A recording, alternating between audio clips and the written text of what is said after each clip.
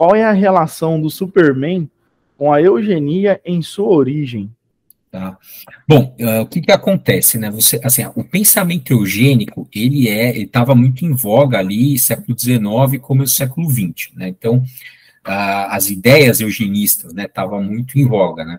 Uma outra coisa importante também para a gente mencionar é que você tem também, uh, e aí tem uma, uma parte que as coisas se conversam, que há uma noção de super-homem, né? Você pode ter ali na filosofia do Nietzsche, mas você tem uma ideia, de modo geral, também na literatura, principalmente na literatura pulp, né? Uh, você tem, e nos, nas dime novels também dos Estados Unidos, né? Você tem uma ideia de que tem um super-homem, no, no, sentido de ter alguns humanos que são melhores que os outros, né, assim, que são mais, alguns indivíduos especiais, né, que eles são mais fortes, mais ágeis, mais inteligentes, né, do que, do que os demais. E aquilo tem, né, tem bastante na, na, na literatura pulp, né, inclusive o Superman, ele é pautado, né, ele é muito inspirado em um desses, é, super, é, super-homens, né, que é o Doc Savage. Né, o Doc Savage é Clark Savage Jr., ele é, é Clark, o Doc Savage, ele era o homem de bronze, o Superman será homem de aço, né, o Doc Savage também tem uma fortaleza da solidão, né, então você tem é, uma ideia, né, essa ideia de que ah, você tem, né, dentro da, dos humanos, né, um, algum, uma estirpe de humanos que é melhor do que as outras, né, que é mais rápido, que é mais ágil, que é mais inteligente, isso tem traços, né, o super-homem tem traços do pensamento eugênico, né, essa, essa noção. E é bom, a gente, é bom a gente também lembrar que o pensamento eugenista era muito forte nos Estados Unidos, né, a, a, a legislação eugenista, né, dos Estados Unidos, né, as leis de segregação serviram de modelo para a Alemanha nazista, né, então você tem sim, assim, a, a, uma, uma, grande, a, uma grande força né, do pensamento eugênico. Uh, um outro elemento importante que, assim, na origem do Superman, qual era a explicação né, do, dos poderes do Superman?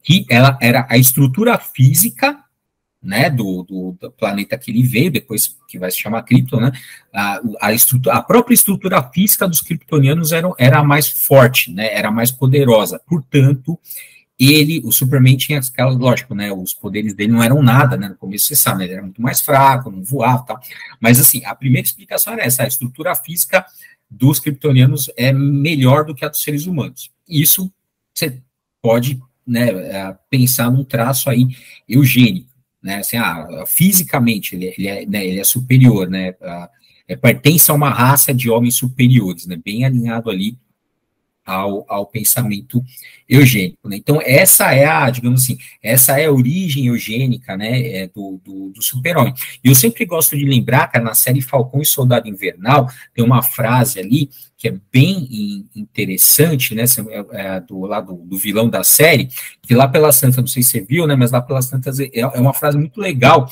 que acho que resume bem a questão que está no super-homem, né, no Superman, que é o, o que a gente considera né, o, o fundador, né, o, o, o primeiro super-herói, né, que é o seguinte, ele fala assim, o desejo de ser super-humano traz, é, é, é um traço de supremacismo, né, de supremaci, é, é, é super, a, a, própria ideia de super-humano é supremacista, né, no sentido de você, de você achar que tem uma, uma parte dos seres humanos são melhores que os outros, né, e não tem como você separar isso, né, não tem como você falar que não, né? É como se fosse uma mácula, né? o, pecado original ali do, dos, dos super-heróis, né?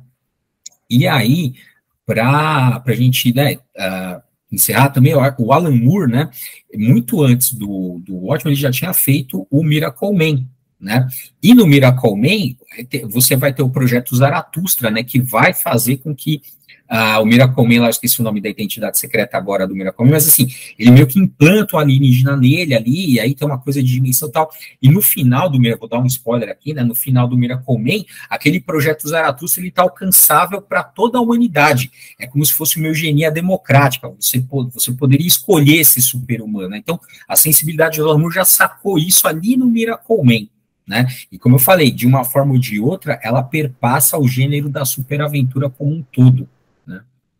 Esse Cara, foi mais um episódio do Takes do Nupec. Se você gostou desse vídeo, deixe o seu like e aproveite para assistir o vídeo completo no link abaixo. Quadrinhos de academia? É na UEMS, é no Nupec.